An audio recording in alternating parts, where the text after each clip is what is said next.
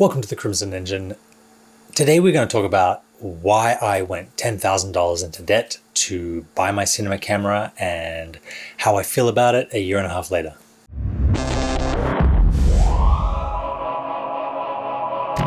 I bought the 5D Mark III about seven years ago now. Um, I was shooting with it a lot, but a year and a half or two years ago, I realized I needed to get a cinema camera of my own. I was renting either a Red or an Alexa or a five, uh, C300 Mark II a couple times a month, and that money was just going. And I realized that I could buy something for myself, get better at using it, put the money that I was putting into rentals into paying off something that I would own and possibly even be able to resell.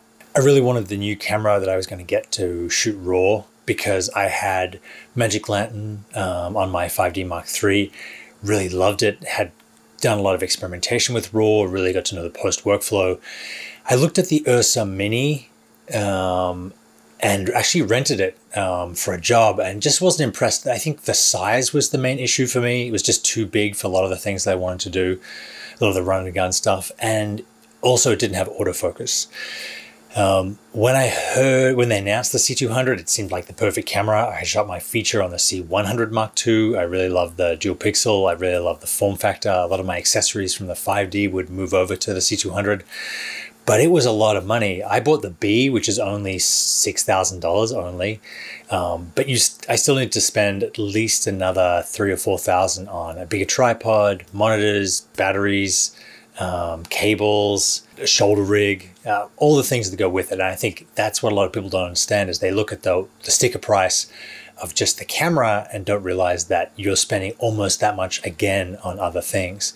Red especially is infamous for this. They have a low priced body, but you end up spending, you know, a thousand dollars on the on the memory cards. But calculating out the amount of money I would have to spend on the camera and the accessories, I still felt like it was a good investment um, for the amount of work I was already doing. Now, I think this is an important distinction because a lot of people buy cameras hoping to get work. Um, I don't think I would have done that. I only bought the camera because I had the work coming um, and wanted to make the best use of those rentals I already had set up. Another thing that you need to take into account is that you don't just have to cover the cost of the camera, but you have to cover the cost of the interest that you're going to need to pay on the money you borrow to buy the camera. I bought mine through B&H um, just because it was cheaper.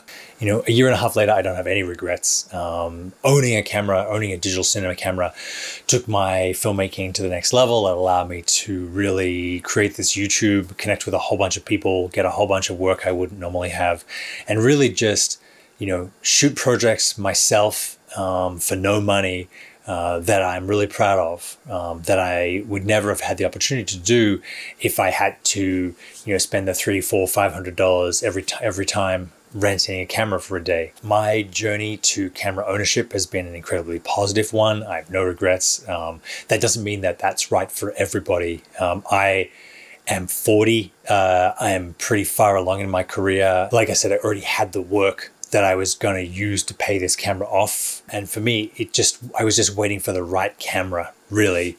Um, I didn't want to buy a red. Um, not a fan of that whole camera system for a lot of reasons that I should probably make another video about. Didn't really like the Sony um, and the FS7, FS5 are kind of getting towards the end of their life. They didn't shoot RAW. Um, so when the C200 came out, I kind of jumped into the pond with both feet and uh, hopefully have been able to pass on what I've learned about um, C200 filmmaking on this channel. Um, and, you know, lots of exciting things are happening. Thanks very much for watching. Uh, leave your questions in the comments. Uh, let me know what other videos you'd like to see. Subscribe if you want to see those videos, and I will see you next time.